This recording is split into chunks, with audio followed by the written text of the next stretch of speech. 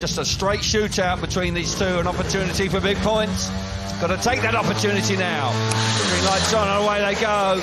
And it's neck and neck into the first corner. Kai Huckenbeck makes it his, avoids that rut, which is good news for him. Patryk Dudek had his elbow out there trying to get himself to the front, but Kai Huckenbeck was having none of that.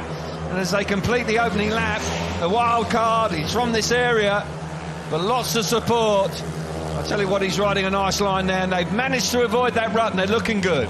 Yeah, the three times German champion out front. The crowd will be happy with this. And uh, feel for Patryk a little bit. He'd made a decent start in the first attempt off gate two. He'd actually got a, across Kai Huckenbeck, but uh, Kai this time determined in that first turn. He was indeed. He's hugging the inside. Front wheel touching that white line and had over it there at times. Going into the last lap.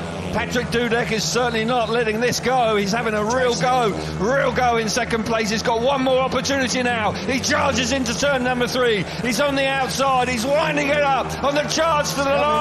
He's coming. Oh my Oh, goodness gracious! Very tight indeed. Gonna have to watch that back. I don't know which way it's gone. I think maybe Dudek would have got that, to be honest.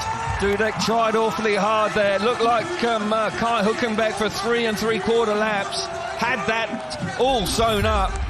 See it again now on this run to the line here, Chris. Yeah, it's very, very close. Late charge from Dudek on the outside here in blue. Ooh, that is Cool, that one. that is a real tough call. Craig Ackroyd will have to declare a result. This angle might be better. I tell you what. Uh, looks Kai Kai, Huckenbeck Oh, by the God. skin of his teeth picks up his win. Great effort from Patryk Dudek in uh, second place.